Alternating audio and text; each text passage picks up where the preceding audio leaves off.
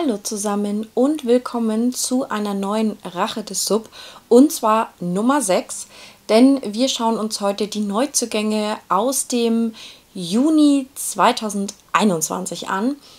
Ja, da gibt es diesmal zum Glück nur ein Video, nicht so wie letztes Mal zwei und trotzdem kann ich dem Titel entnehmen, dass es 15 Bücher sind. Ja, aber ich weiß ja, dass besonders 2021 das sehr eskalativ war, weil ich da ja erst angefangen habe, so richtig mein Bücherregal wieder zu füllen und auch in der Auswahl nicht ganz so picky war, wie ich es jetzt vielleicht bin mittlerweile. Ähm, genau. Das heißt, wir starten. Ich verlinke euch wieder das Video, ähm, das Originalvideo unten oder auch in der Infokarte. Und ja, ich habe ja so ein bisschen meine eigenen Regeln. Ähm, ich erkläre es jetzt nicht nochmal im Detail, aber ich setze mir kein Limit, dass es in den nächsten drei Monaten gelesen werden muss. Ich möchte einfach nur noch mich erinnern an Bücher, die ungelesen sind, die aber eingezogen sind, dass ich ähm, da, dass die wieder ins Bewusstsein rücken und habe so ähm, zwei Listen, auf die potenziell, potenziell Bücher wandern können. Ähm, einmal eine ähm, Try-Chapter-Liste bei Büchern, bei denen ich mir nicht mehr ganz so sicher bin, ob diese das Richtige für mich sind und dann vielleicht ausziehen können, damit das Ganze hier halt auch einen Sinn hat. Und dann noch eine Liste, die potenziell meine 12 Books in 12 Months für nächstes Jahr werden könnten, weil das Bücher sind, die ich wirklich unbedingt jetzt da mal lesen möchte und die weiterhin ähm, ja, favorisiert auf dem Schirm behalten möchte. Ja, das jetzt mal so ganz, ähm, trotzdem ganz grob. Genau, dass ihr euch nicht wundert, falls das hier das erste Video ist, was ihr von mir in dieser Reihe seht. Genau, und ich habe mir gedacht, wir machen das diesmal vielleicht noch ein kleines bisschen anders, weil ich das letzte Mal immer nicht so richtig darauf eingegangen bin, worum es in den Büchern eigentlich geht, da dass ich das auch ein bisschen blöd finde, das alles nochmal zu wiederholen, was ich dann in dem anderen Video gesagt habe. Deswegen werde ich euch, glaube ich, hier in diesem Video Ausschnitte einblenden von dem Originalvideo, in dem ich erzähle, worum es in dem Buch offensichtlich geht. Ich werde das kürzen, also so zusammenschneiden, dass ihr ja nicht das andere Video nochmal komplett jetzt ähm, gucken müsst, sondern ähm, weil da ja auch immer noch viel, ich glaube, und ich mm, drin ist, das werde ich versuchen, alles irgendwie rauszuschneiden, dass ihr kurz und bündig hoffentlich einfach nur eine Inhaltsangabe bekommt. Genau. Ja, und dem Thumbnail konnte ich schon entnehmen, also ich erinnere mich an genau diese Neuzugänge. Ich ähm, habe die hinten so im Hintergrund ein bisschen aufgereiht, deswegen sehe ich schon grob, was das alles ist und kann euch sagen, dass das nicht sehr erfolgreich sein wird jetzt. ähm, ja, gut. Aber damit rechne ich ja sowieso meistens. Okay, dann legen wir mal los. Ähm, Genau, an dem Tag war es super heiß, erinnere ich mich auch noch dran. Ähm, und man sieht es mir auch an. Denn genau das ist nämlich auch das Video, in dem ich beschlossen hatte, dass ich in Zukunft mir einige Bücher der Neuzugänge raussuche und gleich, wenn sie eingezogen sind, ein Try-Chapter mache, um ja entweder Lust auf die Bücher zu bekommen oder sie gegebenenfalls gleich wieder auszusortieren ähm, weil ich ja viel aus dem Gebrauchtwarenladen auch gekauft habe oder aus dem Bücherschrank genommen. Und ähm, da war ich ja, wie gesagt, ein bisschen mh, hm, nicht so wählerisch, was ich nehme. Und dadurch ist vielleicht auch einfach ein bisschen was eingezogen, was gar nicht so meinem Geschmack entspricht. Und ja. Deswegen habe ich tatsächlich in einige dieser Bücher reingelesen und kann mich deswegen auch noch besser an sie erinnern. Ähm, und trotzdem habe ich, glaube ich, fast keins davon jetzt gelesen, auch wenn ich nach dem Reinlesen gesagt habe, es würde mich interessieren und ich möchte es gerne weiterlesen. Ja. Ähm, und so wird es jetzt auch wieder sein. Also ich werde von den einigen Büchern sagen, oh ja, die wollte ich schon längst lesen und werde es trotzdem jetzt nicht hinkriegen, weil ich habe mir jetzt schon eigentlich eine grobe Liste gemacht, was die nächsten Monate so schaffbar sein müsste für mich mit Büchern. Und ähm, dadurch ist da jetzt eigentlich fast nichts mehr reinzuquetschen. Ähm, ja, genau, also schauen wir mal. Ähm, jedenfalls in diesem Video bin ich sozusagen auch zweimal drin, weil ich nachträglich noch was reingeschnitten habe nach meinem ersten Leseeindruck von den Trial Chaptern. Ja. Ähm, deswegen mal gucken, ähm, also nicht verwundert sein, wenn ich vielleicht bei den Einblendungen jetzt dann auch unterschiedlich aussehe. Genau, ich habe es, wie gesagt, ich habe es, glaube ich, ein oder zwei Monate geschafft, diese Trial Chapter zu machen bei den Neuzugängen und dann war auch wieder vorbei, weil Trial Chapter sind für mich tatsächlich ein Zeitfresser. Ja. So, dann haben wir das Ganze vorgeplänkelt, indem ich genau das erkläre, was ich euch jetzt gerade erzählt habe. Und ich glaube, genau, begonnen habe ich mit dem Bücherschrank und da ist eingezogen ein sehr hübsches Büchlein, ein altes, und zwar Junge Freundschaft ähm, von Joachim von der Goltz. Und das habe ich auch noch, glaube ich. Ja, das steht noch da oben. Ähm, das habe ich nämlich gelesen dann. Also da habe ich nicht nur reingelesen, weil es ja so kurz ist, dass sich das gar nicht gelohnt hat. Ähm, das habe ich komplett durchgelesen. War eine nette Geschichte, war jetzt aber auch nicht mega toll. Ich ähm, sage dann, glaube ich, auch, dass das noch eine Weile da bleiben wird, weil es so hübsch ist, aber irgendwann mit Sicherheit gehen kann, weil ich es, denke ich, nicht nochmal lesen werde. Ich verzichte jetzt in dem Fall darauf, euch zu erzählen, worum es geht. Ähm, es ging um eine Männerfreundschaft ähm, von erwachsenen Männern, die sich als oder als Jugendliche kennenlernen, eine Zeit lang getrennt waren und dann als erwachsene Menschen wieder treffen. Genau, aber näher gehe ich darauf jetzt auch nicht ein, weil dieses Buch ja grundsätzlich jetzt auch nicht mehr so zu bekommen ist und jetzt auch keine Empfehlung ist irgendwie. Ähm, ja, Deswegen, also immerhin gelesen, ja, aber was bei so einem dünnen Buch jetzt, jetzt auch keine Errungenschaft ist, ähm, wo ich mir auf die Schulter klopfen kann. Ja, aber immerhin, genau. Aber es sah sehr schön aus, das blende ich euch vielleicht noch ein bisschen ein, einfach äh, weil es hübsch war. Genau.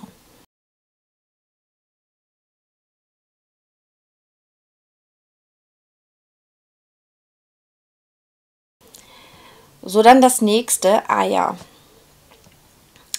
das nächste ist von Daphne de Maurier Rebecca. Das habe ich tatsächlich auch öfter schon erwähnt gehört in anderen Videos und ist wohl eines der Bücher, das man von der Autorin gelesen haben sollte, wenn man sich für sie interessiert. Ist ähm, eher wie so ein Kriminal- Roman, glaube ich. Und es gibt, weiß ich mittlerweile, also dort habe ich dann festgestellt, dass es scheinbar schon ein paar Verfilmungen gab und mittlerweile weiß ich auch, dass es eine Serie dazu gibt, die, glaube ich, auf Netflix auch läuft, ähm, die ich bis jetzt aber nicht geguckt habe, weil ich erst das Buch lesen wollte. Auch hier habe ich ein Try Chapter gemacht und ähm, da erinnere ich mich auch noch dran, ähm, dass ich mich aber sehr schlecht darauf konzentrieren konnte, was da passiert ist, weil die Art und Weise, wie das geschrieben war. Also ich war mir nicht sicher, ob es an der Schreibweise liegt, an der etwas altertümlicheren, weil das ja auch schon ähm, älter ist, die Geschichte, oder ob es an meiner Verfassung lag aufgrund der hohen Temperaturen. Ich denke, es war beides. Ich denke aber auch, dass das bedeutet, dass das aktuell nichts für mich und meine Auffassungsgabe ist, da ja mein Gehirn momentan nicht so läuft, wie es eigentlich sollte. Ähm, deswegen ja, muss das auch noch weiter warten. Ich finde die Ausgabe an sich aber ganz schön. Heißt aber auch nicht, wenn ich es gelesen habe, dass ich das jetzt ewig hier behalten würde ja, muss ich mal gucken. Also ist jetzt nichts Favorisiertes, aber ich blende euch, ich glaube, da habe ich eben eine Inhaltsangabe zu ähm, gegeben, die blende ich euch kurz ein. In einem Hotel an der Côte d'Azur lernt Maxime de Winter eine junge Frau aus einfachen Verhältnissen kennen. Die beiden verlieben sich und schon nach kurzer Zeit nimmt sie seinen Heiratsantrag an und folgt dem Witwer nach Cornwall auf seinen prachtvollen Landsitz Mendeley. Doch das Glück der frisch Vermählten währt nicht lange. Der Geist von Maxims toter Ehefrau Rebecca ist allgegenwärtig und die eher ergebene Haushälterin macht der neuen Herrin das Leben zur Hölle. Sie droht nicht nur die Liebe des Paares zu zerstören, als ein Jahr später plötzlich doch noch Rebeccas Leiche gefunden wird, gerät Maxim de Winter unter Mordverdacht. Genau. Ja, also wie gesagt, es klingt auch weiterhin spannend, aber ich muss mal gucken, ja, ob mir das so vom Schreibstil dann auf Dauer gefällt oder ob ich es für mich damit sein lasse und mich entschließe, einfach die Serie zu gucken und dann ist gut. Muss ich mal gucken. Weil mich jetzt einfach durchquälen, nur weil man es gelesen haben müsste, da bin ich auch irgendwie drüber weg. Also das ja, muss dann nicht sein. Das nächste ist Rosshalde von Hermann Hesse. Ähm, habe ich damals schon gesagt, dass ich äh, da immer drüber stolpere, weil ich dann zum Beispiel eher Rossholde sagen will, statt Rosshalde, weil das irgendwie so, so ein ungewöhnlicher Name ist. Also habe ich so auch noch nie gehört. Ja, steht auch noch ähm, hier im Regal, weiß ich. Auch etwas, wo es mich jetzt nicht unbedingt hinzieht. Grundsätzlich ich aber auch von Hesse mal Belletristik lesen möchte, also nicht nur äh, Gedichte. Ja, aber ähnlich wie beim Vorgänger, das ist aktuell nichts für meine. Hm? Deswegen ja, wird das noch weiter warten müssen. Ist jetzt weder ein Try-Chapter-Kandidat noch eine favorisierte. Das tut jetzt auch nicht weh da oben in, in dem Regal, also das darf noch eine Weile da bleiben. Ich blende euch aber trotzdem kurz ein, worum es geht. Ähm, und zwar geht es da wohl um einen Maler und eine Pianistin, also ein Ehepaar, das sich aber schon eine Weile voneinander entfernt hat, wohl innerlich als auch räumlich. Ähm, aber was sie noch irgendwie zusammenhält oder den Kontakt aufrechterhält, ist ein gemeinsamer Sohn.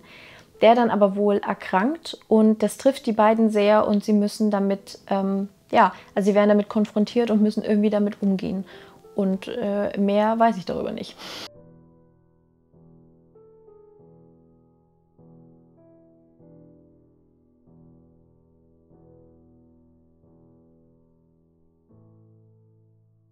Ja, so genau. Das nächste ist ähm, äh, von Ragnar Jonasson Nebel. Das ist der dritte Band dieser Trilogie. Ich weiß gerade nicht, wie sie heißt. Kann sein, dass ich es sage.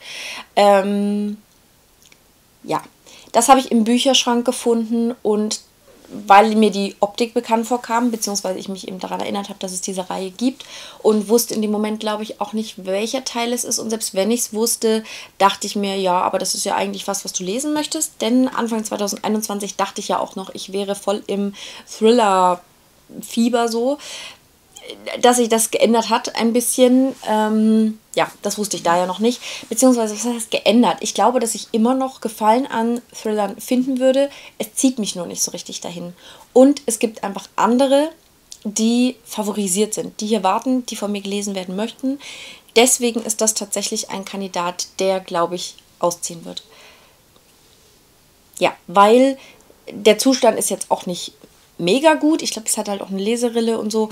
Und wenn, dann ist das vielleicht, obwohl ich die sehr hübsch finde. Ich muss sagen, das ist mal eine ähm, Covergestaltung einer Reihe, die mir wirklich gut gefällt, die nicht so super typisch Thriller-mäßig ist und ja, die ich auch einfach hübsch finde. Aber ich habe nicht das Bedürfnis, selbst wenn ich Thriller lese, die mir gefallen, dass die großartig hier im Regal stehen bleiben ja, irgendwie, weiß nicht, also das müssen schon ganz spezielle Reihen sein ähm, oder Bücher, Einzelbände. Ähm, genau, deswegen wird das, glaube ich, aussortieren. Weil mein Stapel in dem einen Fach, was ich da habe mit Thrillern, ist auch sehr klein. Und das ist auch gut so. Also, weil das eben gerade nicht dem entspricht, was ich gern lese. Und dann muss das auch nicht ewig hier rumstehen. Ja. Also, ich weiß, mein Schwiegervater hat die Reihe gelesen und fand die auch ganz gut. Aber der hat jetzt E-Books gelesen. Ähm, also brauche ich auch nicht weitergeben. Ja. Ähm, ich glaube, da spare ich uns jetzt auch eine Inhaltsangabe, weil es ja eben auch der dritte Teil ist. Ähm, ja, und es wird, wie gesagt, eh ausziehen. Ja. So, das nächste ja, kann ich mich auch noch gut daran erinnern. Und zwar in unserem Gebrauchtwarenladen, da sind wir jetzt angelangt, ähm, gab es dann immer auch ein Regal mit fremdsprachigen Büchern. Und da scanne ich dann immer noch mal so grob drüber, weil da kenne ich dann oft auch nicht die, die Cover. Und ja, es ist für mich natürlich auch anstrengender, auf Englisch zu lesen. Habe ich auch ähm, viel zu wenig getan ähm, in der letzten Zeit. Aber da dachte ich mir, weil es mir auch einfach gut gefallen hat, optisch, ja, jedenfalls ist ähm, der erste Band der, Dilu der Krähen-Dilogie von Liba Dugo eingezogen, eben auf Englisch als Paperback. Das heißt, das hat auch ein ganz anderes Format, ist viel größer als äh, unsere Taschenbücher, ähm, entspricht eher so einem Hardcover, ähm, hat aber das gleiche Cover wie im Deutschen. Deswegen ist es mir wahrscheinlich unter anderem auch aufgefallen. Ähm, ja, ich sag da, ich betone da ähm, den Titel falsch. Also Six of Crows müsste es heißen. Ähm, genau, also das ist die Dilogie, die theoretisch chronologisch anschließt an die Grisha-Trilogie, bei der ich ja erst den ersten Band gelesen habe. Selbst zu dem Zeitpunkt habe ich den ersten Band gerade frisch gelesen, glaube ich, und dachte, ich würde da jetzt auch bald weitermachen und könnte dann mit der Dilogie fortfahren. Und ich will ja auch unbedingt weitermachen. Also mich zieht es wirklich dahin, da das fortzusetzen. Aber wie schon erwähnt, ich, ich weiß nicht so richtig wann, weil andere Bücher eben auch drängen. Ähm, ja, das heißt, und es gibt jetzt vor allem schöne Neuauflagen oder was heißt Neuauflagen, aber auch schöne Special Editions und so von dieser mh, Krähendilogie.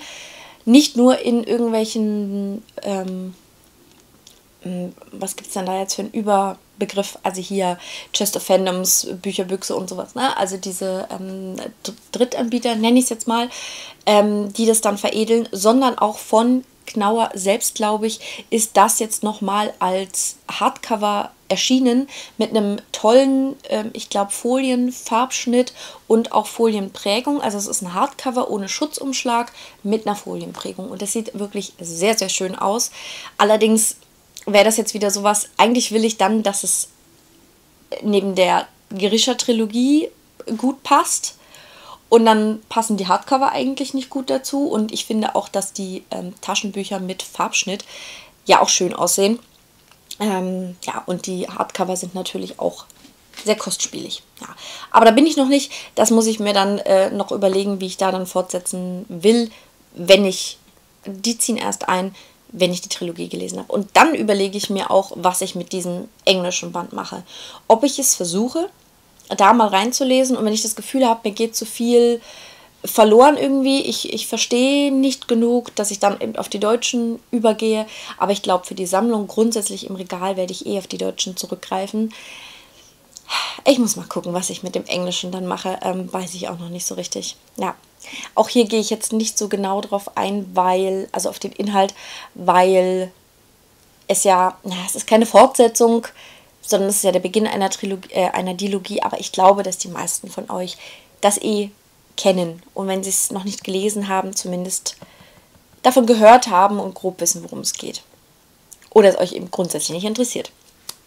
So, dann das nächste. Ja, das habe ich sogar neulich erst in die Kamera gehalten und steht auch noch für mich sichtbar hier in meinem Fantasy-Regalbrett. Ähm, ähm, genau, und das ist Bücherstadt von Akram El-Bahai. Und da ist nämlich vor kurzem ein Kinderbuch bei mir oder Kinderjugendbuch eingezogen bei mir. Ähm, und da kam mir der Autorenname bekannt vor und dann habe ich mir auf die Suche begeben und tatsächlich das Buch auch wieder gefunden und dann festgestellt, dass das eben der gleiche Autor ist. Ähm, ja, und das hier ist sozusagen ein Jugend-Fantasy-Buch oder auch für Erwachsene halt, ähm, aber ab Jugendalter so ungefähr ähm, und ist eine Trilogie. Ähm, Bücherstadt ähm, und da habe ich reingelesen. Da habe ich ein Trial Chapter gemacht und das war so ein Kandidat, den ich gern weitergelesen hätte auch. Der mir gut gefallen hat beim Reinlesen, deswegen wird das definitiv nicht auswandern. Ähm, sondern wäre eher, ich gucke mal, was noch so kommt, aber ich habe das Gefühl, da sind noch andere Kandidaten dabei. Es wäre potenziell etwas für diese ähm, priorisierte Liste, auf die ich Bücher setzen will, aus ähm, ja, die hier vorkommen. Mal gucken. Aber da kann ich euch jetzt einblenden. Entweder blende ich euch meinen ersten Leseeindruck ein oder eben die Inhaltsbeschreibung. Das überlege ich mir dann noch. Worum geht es? Und zwar um Sam, der ein ähm, ja, Meisterdieb ist, ziemlich gut wohl. Und äh, mit einer List gelingt es ihm auch äh, in die Palastwache von Mythia aufgenommen zu werden. Und er träumt jetzt davon, da ähm, ja ein, ein Wächter des Weißen Königs zu sein, dem sehr viel Ehre zukommt. Aber dann äh, stellt er fest, wo er eingesetzt werden soll, und zwar in einer riesigen Bibliothek unterhalb der Stadt. Und das klingt für ihn nach tödlicher Langeweile und völlig staubig und schrecklich, weil da gibt es ja nur Bücher, was soll er da eigentlich machen? Aber er ahnt nicht, wie sehr er sich irrt.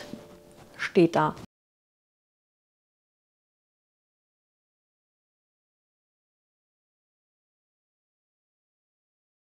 Das nächste ist die Bücherdiebin von Markus Zusack. Und ja, sehe ich ganz oft, auch weiterhin auch im Secondhand-Laden und so, ist halt ein Klassiker mittlerweile auf jeden Fall. Ähm, ähnlich wie der Schatten des Windes, also so das und das, das sieht man immer irgendwo gebraucht oder auch im Bücherschrank und so. Ähm, ja, habe ich noch nicht gelesen, wird auch nicht ausziehen, aber das ist ein Buch, für das ähm, der richtige Moment da sein muss. Und ich kann mir vorstellen, dass ich das irgendwann mal in einer Leserunde lese. Also, dass ich irgendwo mitkriege, dass eine Leserunde stattfindet und mich dann anschließe und es aus dem Regal nehme, weil ich es schon da habe. Ich weiß nicht, ob ich motiviert genug bin zu sagen, ich lese das jetzt und alleine. Ähm, hinten in dem Buch sind nämlich auch Anmerkungen drin für einen Lesekreis, also so Aufgaben, die man besprechen kann, weil es ja hier viel, oder es spielt ja auch im Zweiten Weltkrieg und ähm, ich, also ich weiß nicht, ob es Schullektüre ist, das glaube ich fast nicht bei der Seitenzahl, aber vielleicht so Gymnasialstufe möglicherweise. Ähm, denn da kann man mit Sicherheit viel drüber reden. Ähm, und sollte man vielleicht auch. Ich habe dann auch drüber geredet, genau, dass ähm, die Caroline von Marie Salon du Livre das Buch sehr gerne mag, dass es, glaube ich, auch in ihrem Kanaltrailer vorhanden ist ähm, dass die Dani wiederum, die das im Pick My Sub gezogen bekommen hat, das abgebrochen hat. Und ich kann da beide Seiten verstehen und ähm, dass es irgendwie bei mir jetzt auch in zwei Seiten, zwei Richtungen gehen könnte. Ich weiß aber, dass mir das gerade nicht das Richtige ist. Also mit dem, mit dem Thema oder der Schwere des Themas, ähm, ja, würde ich mir gerade keinen Gefallen tun. Aber das bleibt definitiv da. Und ich blende euch noch kurz ein, worum es geht. Im Alter von neun Jahren hat Liesel schon vieles verloren. Ihren Vater, einen Kommunisten, ihre Mutter, die ständig krank war, ihren Bruder Werner auf der Fahrt nach Molchin zu den Pflegeeltern. Als der Bruder stirbt, gerät sie zum ersten Mal ins Blickfeld des Todes und sie stiehlt ihr erstes Buch, ein kleiner, aber folgenreicher Ausgleich für die erlittenen Verluste. Dann stiehlt sie weitere Bücher, Äpfel und Kartoffeln. Das Herz von Rudi, das von Hans und Rosa Hubermann, Hubermann, das von Max und das des Todes, denn selbst der Tod hat ein Herz. Klingt großartig. Die Seitenzahl klingt nicht so großartig, weil mich persönlich das ja so ein bisschen abschreckt leider. Aber die Geschichte klingt gut. So, dann geht es weiter mit Delphine de Vigan, No und ich. Ja, das ist auch so ein dünnes Buch, das ich jetzt auch immer wieder im Gebrauchtwarenladen stehen sehe. Und es steht auch noch hier oben, ich zeige immer irgendwo hin, ähm, was ihr nicht sehen könnt in meinem Regal. Aber ich will damit sagen, ich erinnere mich an das Buch und ich weiß sogar, wo es steht in meinem Regal. Ähm, das ist immer schon mal ein gutes Zeichen. Also das steht da oben ähm, in dem Regal der dünnen Bücher, wo ich immer hoffe, dass wenn ich am Ende des Monats noch so ein paar Tage übrig habe, wo das ich noch füllen kann für den Lesemonat sozusagen ähm, und ich eher mit einem dünnen Buch noch fertig werde. So, genau. Da steht es und ja, ich gucke es immer wieder an, aber ich habe bisher nicht dazu gegriffen. Ähm, ich habe auch noch nichts von Delphine de Vigan gelesen. Mich reizt ja eigentlich, dass äh, die Kinder sind Könige, das jetzt erst vor ein bis zwei Jahren erschienen ist, aber auch das habe ich noch nicht gelesen. Ähm, ja, doch letztes Jahr ist es erschienen. Nee, ach egal, ich weiß es nicht. Ähm, ja, da blende ich euch kurz ein, worum es geht. Die Dinge sind, wie sie sind. Wenn wir irgendwann nur noch diese Antwort parat haben, sind wir dann erwachsen? Lou ist hochbegabt und eine Einzelgängerin. Am liebsten beobachtet sie die Menschen und stellt dabei gewagte Theorien auf, um das zu verstehen, was tagtäglich mit uns geschieht. Bis sie auf die 18-jährige No trifft, die in Paris auf der Straße lebt No mit den dreckigen Klamotten und dem müden Gesicht. No, deren Einsamkeit die Welt in Frage stellt. Und Lou stürzt sich in ihr neues Projekt. Sie will No retten und sich und der Welt beweisen, dass sich alles ändern lässt. Genau, also wie gesagt, ich habe es noch nicht gelesen. Ist jetzt auch nicht so, dass mich das aus diesem Regalbrett der dünnen Bücher am ehesten anzieht. Also da gibt es auf jeden Fall noch andere, aber es schreckt mich auch nicht ab oder so oder interessiert mich so gar nicht, dass ich es jetzt ausziehen lassen würde. Ähm, ja. Aber dadurch, dass ich das ja immerhin weiter im Blick habe, ähm, ja, muss das jetzt gerade auch noch auf keine Liste wandern. So, das nächste ja, da habe ich nämlich auch wieder reingelesen und zwar von Jenny Colgan, wo Geschichten neu beginnen. Und zu dem Zeitpunkt hatte ich von Jenny Colgan noch nichts gelesen. Und ich bin mir gerade unsicher, ob ich, weil ich verwechsle sie auch manchmal noch mit einer anderen Autorin, auf dessen Namen ich jetzt auch gerade nicht komme. Und deswegen bin ich mir nämlich nicht sicher, ob ich diesen Monat jetzt das erste Mal was von ihr gelesen habe. Naja, jedenfalls habe ich in dieses Buch reingelesen und das hat mir auch gut gefallen. Ähm, aber jetzt halt auch nicht so nachträglich zumindest, dass ich es nicht erwarten könnte, da jetzt reinzuhören. Ich kann mir vorstellen, dass ich das gut hören könnte. Ich habe jetzt wieder festgestellt, dass ich eben so leichtere Lektüre, die ich trotzdem ab und zu mal brauche, ähm, dann eher hören kann. Gehörtes kommt bei mir immer in der Bewertung ein bisschen schlechter weg, als wenn ich es gelesen hätte. Aber manche Bücher würde ich vielleicht auch einfach nicht lesen. Und dann ist es ja auch egal, ne? Also ob ich es jetzt gar nicht lese oder ob ich es höre und dann vielleicht nicht so gut finde, wie wenn ich es gelesen hätte. Ähm, weil würde ja nicht passieren. Also hier kann ich mal nachschauen, ob ich da ein Hörbuch finde. Ähm, ja, und dann, je nachdem, wie gut mir das gefällt, ja, mal gucken. Also da, ähm, aber es hat, es hat mir halt vom Schreibstil an sich schon gut gefallen. Die Frage ist ein bisschen, wo die Reise hingeht. Also der Anfang hat mir gefallen, aber das entwickelt sich halt manchmal erst innerhalb der Geschichte dann plötzlich. Das habe ich jetzt schon ein paar Mal festgestellt bei solchen Sachen, dass mir der Anfang manchmal gut gefällt, wo es eher so um die Protagonisten und deren eigenen Probleme oder sowas geht und vielleicht auch noch so eine Kennenlernphase, wenn dann eine Romanze entsteht. Aber sobald die dann anbandeln, wird es für mich schwierig, weil manchmal dann einfach belanglos, übertrieben, dramatisch, keine Ahnung. Also da muss ich mal ähm, gucken. Aber hier, das hatte ich ja trotzdem mitgenommen, weil eben von der Autorin oft geschwärmt wurde, gerade von der Dani auch, ähm, dass die ein bisschen erwachsener schreiben. Ja. Also da muss ich mir selber noch überlegen. Also ich brauche das jetzt nicht auf eine Try Chapter Liste setzen, logischerweise, weil ich das ja schon angelesen habe. Genau, da schaue ich jetzt mal, was ähm, ich euch wieder einblende, mein Leseeindruck oder ja. Und zwar geht es um die Londoner Krankenschwester Lissa und den Ex-Soldaten Cormac.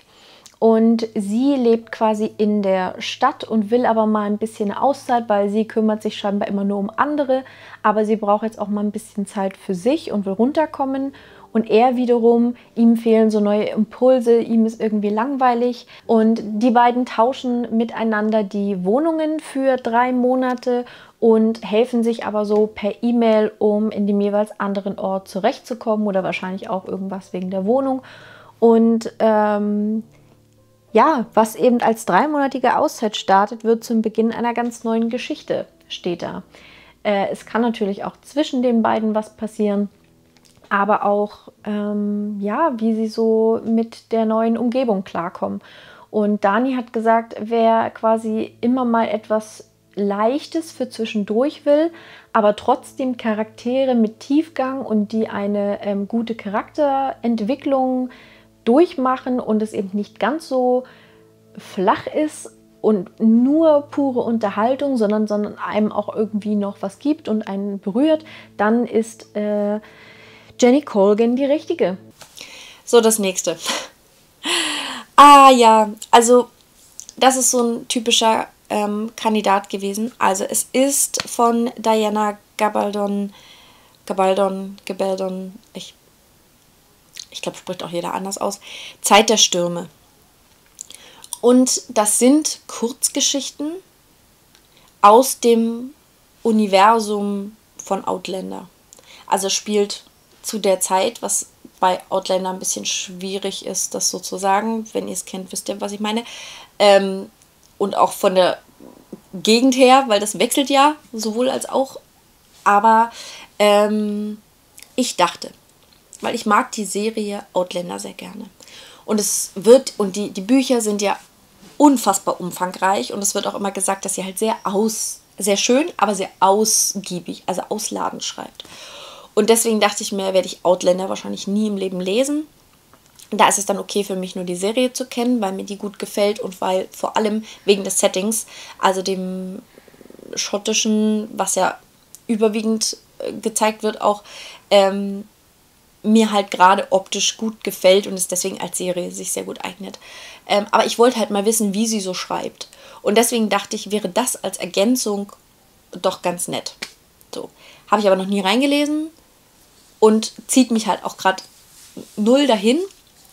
Aber vielleicht kommt da die Zeit mal für. Ich kann mir vorstellen, wenn wir vielleicht mal wieder einen Schottland- oder Irland-Urlaub planen, und das will ich definitiv nochmal machen, dass das zum Beispiel das Richtige ist. Also, dass ich das dann mitnehme und dort lese oder auf der Reise oder kurz vorher oder kurz nachher. Dass mir das dann was geben würde, weil ich das dann emotional anders auflade. Jetzt einfach so in dem Moment das zu nehmen, reizt mich gerade gar nichts dazu.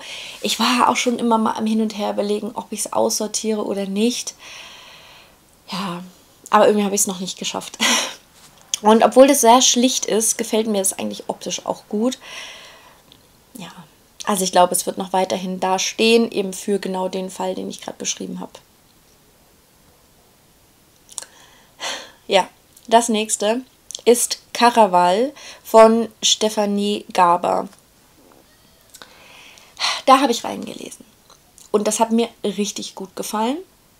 Und da, das war so ein Kandidat, wo ich eben merke, wenn ich da reinlese und es gefällt mir gut, dann will ich ja weiterlesen. Aber ich habe mir vielleicht schon Bücher für den Monat und so rausgesucht und ich kann das nicht noch reinquetschen. Und genau so war es. Und genau so ist das immer von Monat zu Monat geschoben worden, so gedanklich, bis es irgendwann wieder im Regal gelandet ist und äh, jedes Mal, wenn ich sehe, denke ich mir, ah ja, hm, möchtest du? Und jetzt wurde das ja auch noch letztes Jahr, glaube ich, neu aufgelegt, das ein bisschen verwirrend ist, weil das irgendwie die komplette Trilogie wieder so wirkte, als wäre das eine Neuerscheinung. Dabei haben sie die einfach nur nochmal neu rausgebracht mit ähm, Farbschnitt und zwar unfassbar teuer. Also ich finde die wirklich teuer. Ich habe das Buch nämlich als Mängelexemplar im Supermarkt gekauft. Genau. Jetzt fängt das an. Da habe ich gesagt, ich bin äh, überall in Versuchung und nirgendwo ist man sicher. Denn selbst im Supermarkt jetzt lachen mich Mängelexemplare sozusagen an. Ähm, und das war das erste davon. Ähm, und war halt in einem super Zustand. Also da ist halt nichts dran. Hat aber halt keinen Farbschnitt, weil diese Ausgaben damals noch keinen Farbschnitt hatten.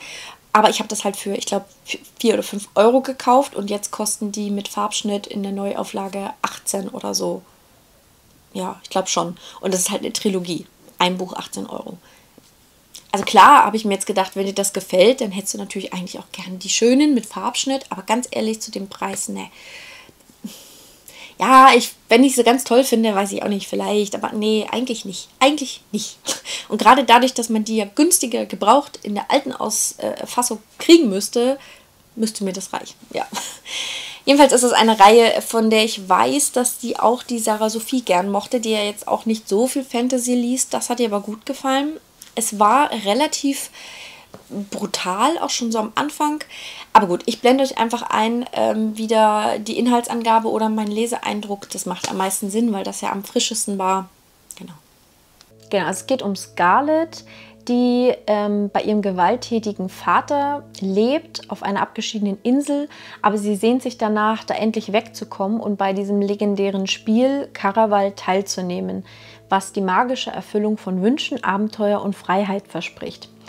Als sie es dann tatsächlich dahin schafft, äh, glaubt sie am Ziel ihrer Träume zu sein, aber merkt dann, dass etwas Dunkles und Geheimnisvolles äh, dieses Spiel umgibt und dass sie sich in einer Welt befindet, in der es um Leben oder in einem Spiel, in der es um Leben und Tod geht. Ja, also eine, eine Fantasy-Geschichte, vielleicht Urban Fantasy, vielleicht nicht. Ich stelle mir so ein bisschen sowas wie Tribute von Panem, vor oder ähm, Maze Runner, sowas in die Richtung. da habe ich jetzt sehr, sehr gerne reingelesen. Am Anfang war ich ein kleines bisschen verwirrt, weil wir ähm, verfolgen quasi einen, nicht einen Briefwechsel, sondern die eine der beiden Schwestern schreibt ganz viele Briefe an den Obersten, der dieses äh, Caraval-Festival ausrichtet und ähm, versucht sich sozusagen darum zu bewerben, dass sie daran teilnehmen dürfen und dass dieser, also ich habe das jetzt mal so ein bisschen fast wie so ein Zirkus eben gewertet oder für mich in meinem Kopf noch so äh, stelle ich mir das vor. Allerdings ist hier vorne auch eine Karte drin. Ich finde ja Karten eigentlich auch ganz großartig von einer ähm, Stadt. Und ich bin mir jetzt nicht so ganz sicher, weil da steht hier Karaval, ähm, ob die dann eine ganze Stadt aufbauen aber das ist ja, es, es wirkte aber so wie so ein Wanderzirkus irgendwie. Also das habe ich noch nicht, muss ich gestehen, einfach noch nicht so ganz ähm, verstanden. Aber ähm, ja, man lernt quasi so ein bisschen die zwei Schwestern kennen, wie sie so miteinander umgehen und eben auch diesen gewalttätigen Vater. Das wurde ja schon auf dem Klappentext angesprochen. Ich hatte das dann wieder so ein bisschen ausgeblendet und war dann sehr überrascht, als es ähm, dazu kam ähm, weil wir auch gleich seine Brutalität zu spüren bekommen, sage ich jetzt mal, weil es schon heftig war. Und vor allem wirklich böswillig. Und er spielt halt auch mit seiner Macht einfach. Und ähm, das war nicht so schön natürlich zu lesen, aber sie haben jetzt eben diese Zulassung zu diesem ähm, Festival oder wie auch immer, also da teilnehmen zu dürfen. Und ich muss sagen, bei dem Buch fiel es mir fast schwer zu sagen, okay, ich wollte ja nur reinlesen, ich muss das jetzt weglegen und mit einem anderen Buch weitermachen, dass ich hier alle mal ein bisschen angelesen kriege, weil das hätte ich gerne einfach weitergelesen. Also es hat mich jetzt schon irgendwie gekriegt ähm, und das eben nach den ersten paar Seiten. Ähm, ich muss mal gucken. Wie gesagt, die Kapitel sind ja immer unterschiedlich lang. Ähm, genau, also ich habe die ersten beiden Kapitel gelesen. Ich müsste jetzt beim dritten weitermachen. Und ähm, ja, da habe ich auf jeden Fall Lust drauf. Und das war, glaube ich, eine gute Entscheidung. Und dadurch, dass es jetzt hier steht und eben ich es angelesen habe, ähm, habe ich da dann auch größere Lust dazu, danach zu greifen. Ja, also das steht auch nicht so weit hinten in diesem Fantasy Regal. Also das ist wieder eins von den Büchern, das ist jetzt gerade mit dem ähm, Bücherstadt so auf einer Linie. Beide haben mir gut gefallen, beide ähnliches Genre, ähm, die beide so ein Kandidat für diese 12 Books Liste wären. ja. Mal gucken, aber es ist auch eins, das ich weiterhin eigentlich auf dem Schirm habe. Hm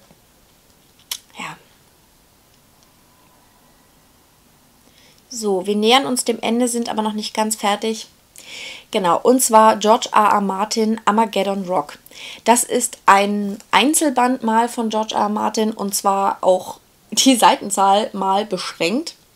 Also er kann sich offensichtlich auch kurz fassen und auch vom Genre her mal ganz was anderes, denn es ist kein, kein ähm, ich sag jetzt mal, mittelalterliches Fantasy-Setting ähm, oder High Fantasy, sondern es ist Urban Fantasy ähm, von einer ähm, Rockband, bei der während eines Konzerts etwas passiert, irgendein Dämon, glaube ich, aufersteht oder so.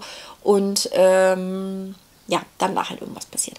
Und das dachte ich mir, ist doch während, weil ich auch Game of Thrones wahrscheinlich in meinem Leben doch niemals lesen werde, ähm, auch wenn ich den ersten Band aus Nostalgiegründen hier stehen habe und die Serie geliebt habe, aber ich werde es wahrscheinlich trotzdem nie lesen.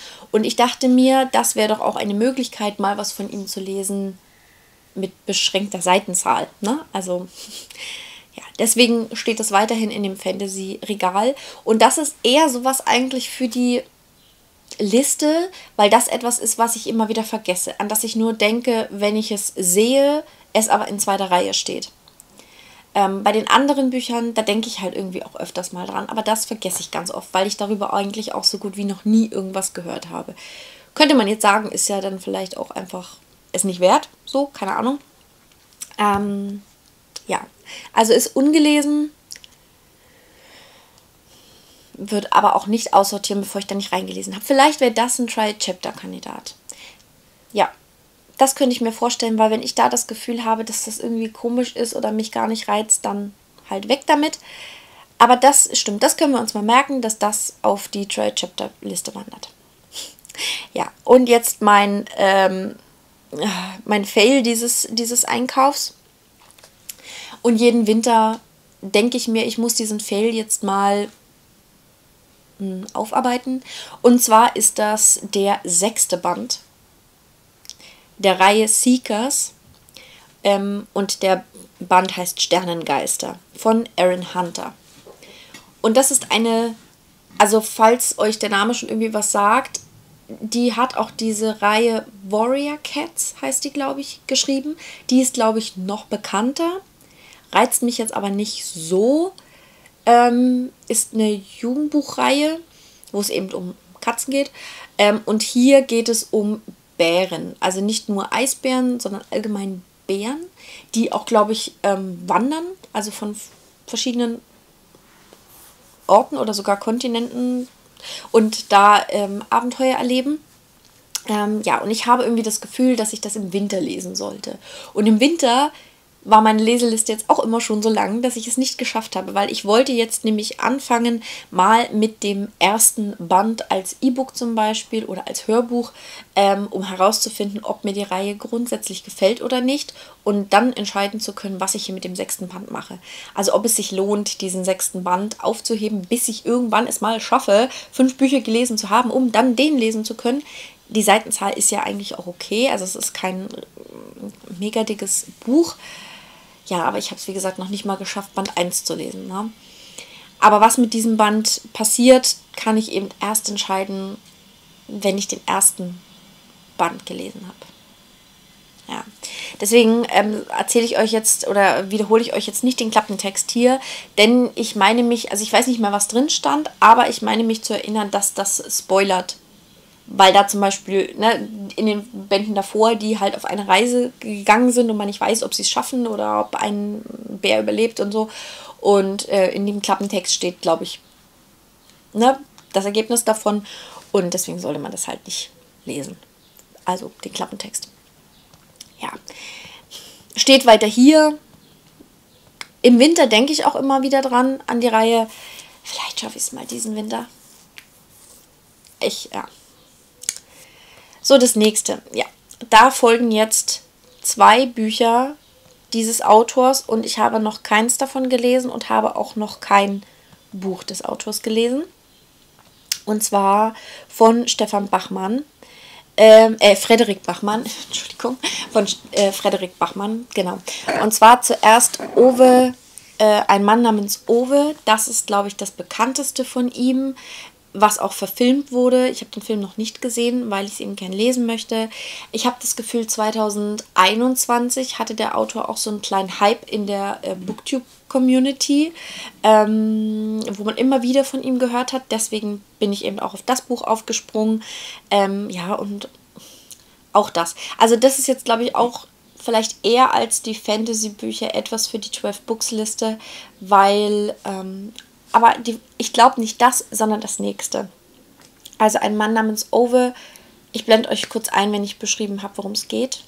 Und zwar geht es hier um Ove, der seine Frau vor ein paar Jahren wohl verloren hat und ähm, es ihm sehr schwer damit geht und er auch relativ einsam ist und auch schon so ein paar praktische Vorkehrungen scheinbar für seinen eigenen Tod trifft und dadurch sehr, aber sehr ähm, nach außen hin sehr kühl trotzdem wirkt und sehr so auf Ordentlichkeit und sowas bedacht ist und als Nachbar vielleicht auch nicht unbedingt der angenehmste, weil er dann äh, schnell mal irgendwo dran rummeckert.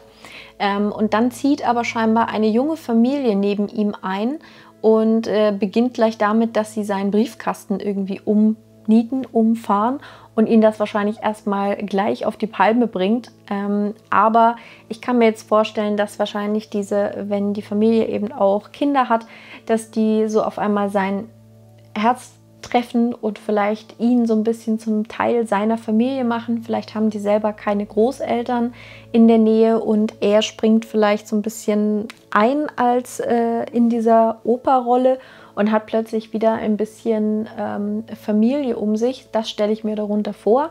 Wir werden sehen, ob das dem ähm, ja, entspricht. also das klang auf jeden Fall ganz gut. Ich mag das. Das erinnert mich so im ersten grob an den Buchspazierer, also der so ein eigentlich sehr einfühlsamer Mensch vielleicht ist, aber auch sehr einsam und ähm, ja, dessen Herz dann so ein bisschen erwärmt und erweicht wird durch äh, Kinder oder ähm, ja, durch andere Menschen einfach. Da freue ich mich drauf. Genau.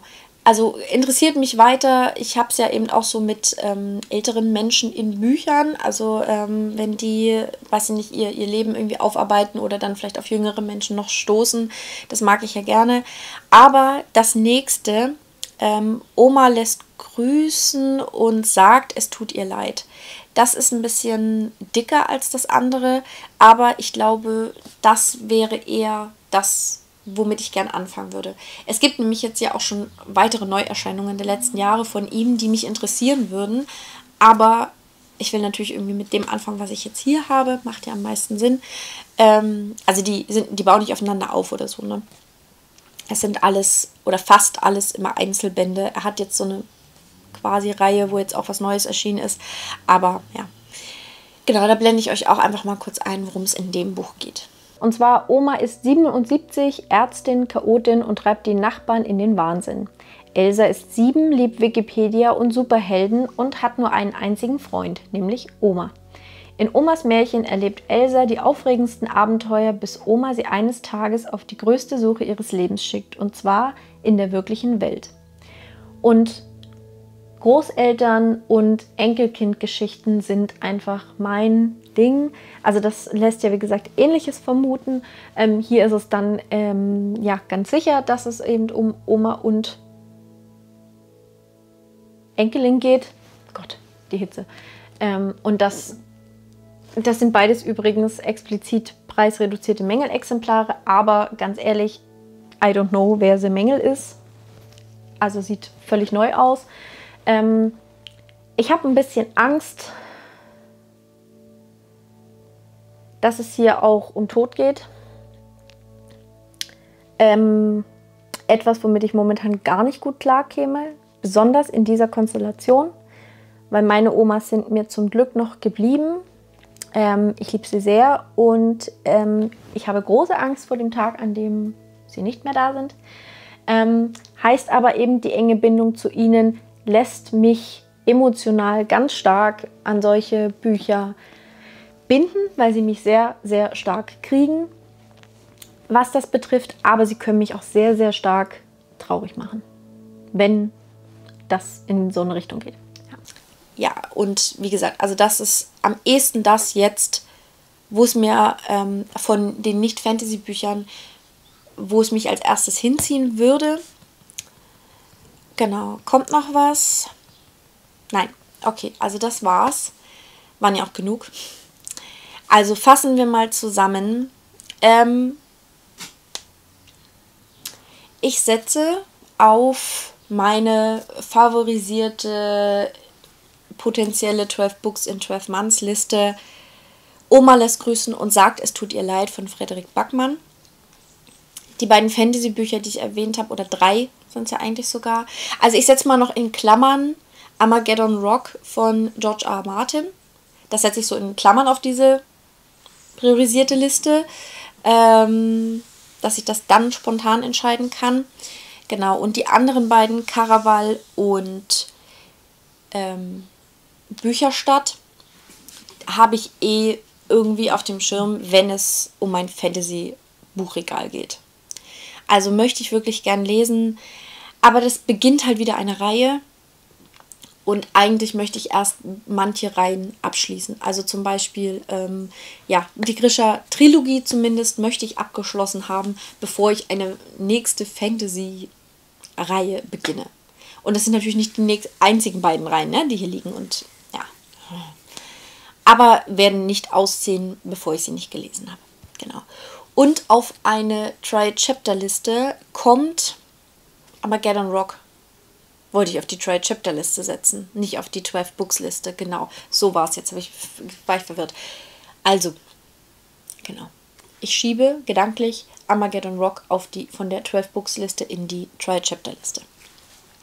So, für euch wahrscheinlich verwirrend. Ich, ich habe es mir jetzt gemerkt. Es ist verbucht in meinem Kopf. Ja. genau.